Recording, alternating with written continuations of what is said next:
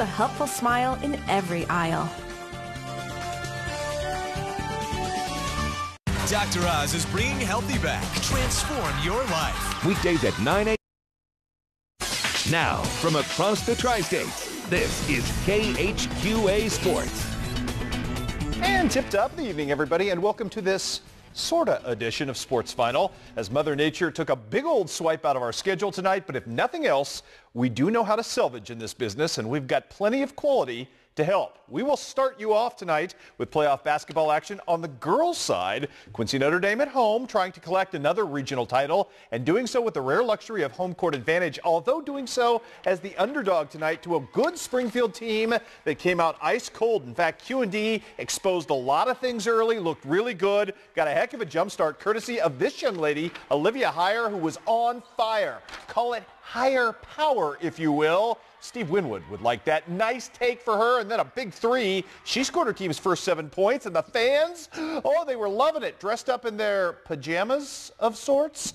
Springfield couldn't shoot straight in the first quarter. However, they had a lot of weapons. Kiera Weir, one of them. Nice take for her right there, but still at the other end. How about Olivia Heyer playing distributor first, hooking up with Shelby Cannell here, and then touchdown pass at the other end to a completely unguarded Quetta Keating. Oh, it was a big run at that point. 14 to 8 after the first quarter. As big as a nine-point lead as Quetta circles and knocks in another jumper, but in the second quarter, it would be a 9-8 victory in that stanza for Springfield behind Sarah Cross. Point blank range. QND, though, kept fighting, kind of scrapping and trying to build the lead.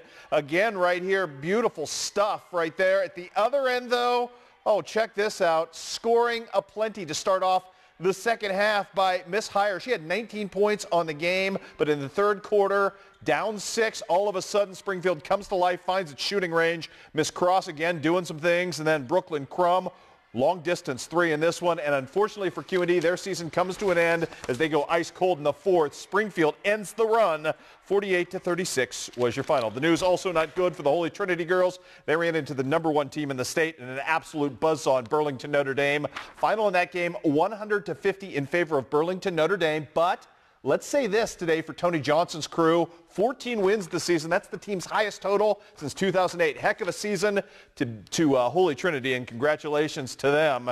Burlington Notre Dame moving on by a win by 50. How about we do the boys side of things tonight? Quincy High School at home tonight. Senior night at Blue Devil Gym. And a big bounce for everyone in this one early on. Lincoln LB step back three. Kid couldn't miss in the first quarter. He could also distribute a little bit, hooking up with Parker Bland. And the Blue Devils were off to the hot start in this one. The three-pointers falling at least in the first quarter in this one. Not for the rest of the night, but Cameron Gay knocking down a triple here. Then Jacob Job. Man, this kid is smooth and fun to watch. Kiss off the glass right there. Good stuff from him. However, Moline, after the ice cold first quarter, kind of got things going a little bit. Big fella McLaughlin inside. Big take for him. Fouled in the process. Still, Quincy High would rebuild the lead. Second quarter, not so good. This the end of the first quarter, however. Jacob Job with a three. And then check out Mike Dade to finish the stanza in style to beat the buzzer. Little contortion, checking the clock as he does so. Great maneuver, and that's a clever buzzer beater for that young man. Then Lincoln Elby to start the second quarter good. As I told you, Moline, real strong in the second and third quarter. Made a game out of this. Fourth quarter, though, the Blue Devils scored the last 10 points of the game unanswered. They end up winning and winning fairly sizably down the stretch. Good win for the Blue Devils. 50 to 41 is your final. Not a lot of games tonight in Illinois due to the weather, but we did have one at Brown County. Unity visiting and looking to try to stop the Hornets in this one. How about Darian Drake, young point guard, freshman, already knows the angles and the parabolas and the whatever you want to call it the bounces, I guess, for lack of a better word, of the gym. Nice finish for him. Adam Donnelly, pretty good night for this young man from Unity. 14 points, kiss off glass to start, and then the jump shot he would hit as Unity building a little bit of momentum in this seesaw affair early in this one. Brown County, though, giving no quarter, at least at this point. How about some Colin Clinging? Good football player, not a bad basketball player either. Kid can finish in traffic. Good stuff from him. Brendan Begeman and company, though, too strong down the stretch. 66-52 your final. Corey Miller not pictured in this one with 23 to lead Unity to victory.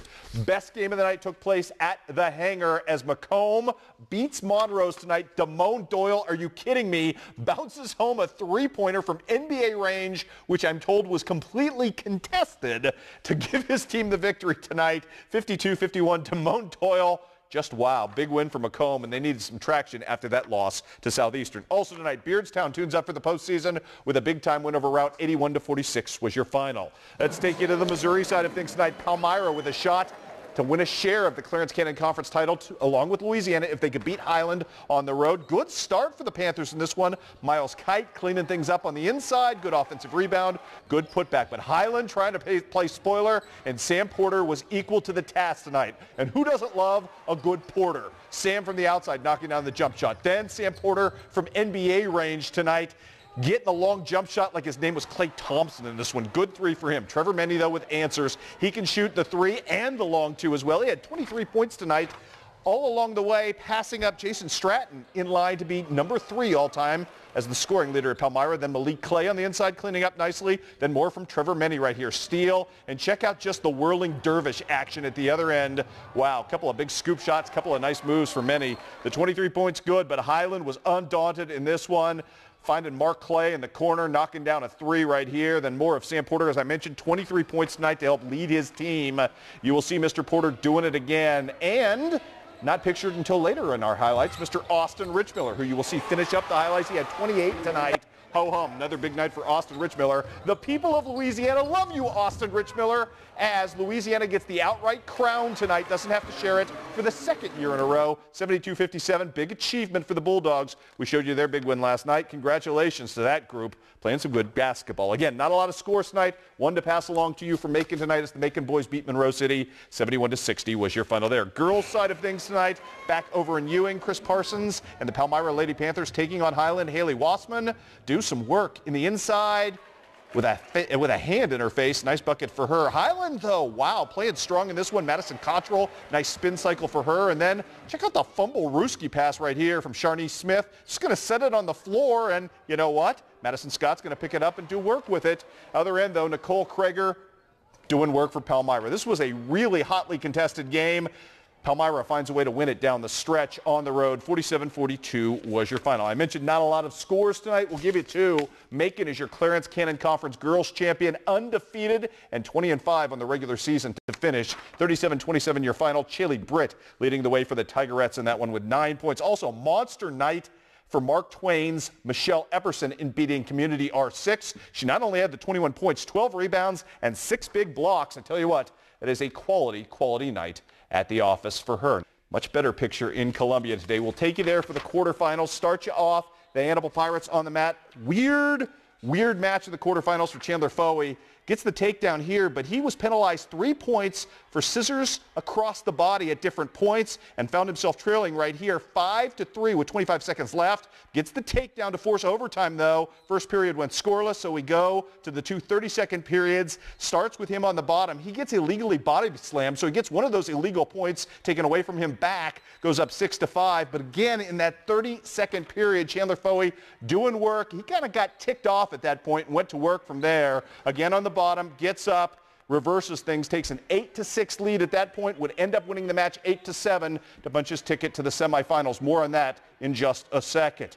Meanwhile, after Chandler Fowey got the win, kind of a strange match as well at 132 for Austin Janes, trying to get out of the quarterfinals and back to the semifinals for the second year in a row. Got the takedown here to build a 2-0 lead and then eventually a 4-1 lead. Had to ride things out, but Austin Janes showing a lot of moxie tonight gets the 6-5 win. Most impressive victor during this run in the quarterfinals, Colby Collins at 170, who was absolutely doing work here against Loudon Breedson. He gets the win and advances on. So too does Kyle Muring. And the good news is this, Hannibal fans. Four guys, as we take a look at the graphic, four guys all win their semifinals matches tonight. Austin Janes, Chandler Fowey, Colby Collins, and Kyle Muring all headed off to the finals tomorrow. Hopefully, snow permitting, we'll have a lot of coverage for you of state championships from Hannibal coming up tomorrow on Overtime. There will be no state championships, unfortunately, in any other state. Will Lucy, with the loss, though he wrestles back on the backside of the bracket, ends up getting a chance to wrestle for third place tomorrow. So Will Lucy moving on. Ashton Myers loses as well today. He ends up moving on as well after losing and then picking up a victory. The news not particularly good in southeast Iowa, though we can tell you Chase Sini was the only of our Iowa wrestlers to end up winning their quarterfinal, lost in his semifinal but's got a chance to win for third. Other guys advancing include Harlan Steffensmeyer, Tanner Hawker, Nick Audie, Dakota Shaw, and Ryan Egley, who will all wrestle for seventh. Overtime tomorrow, I don't know what we'll have, depending upon the weather, but it'll be fun. We'll see you at 1030, everybody. We've always had the largest selection and top-notch service. But did you also know we carry all of the top name brands? Sealy Posturepedic,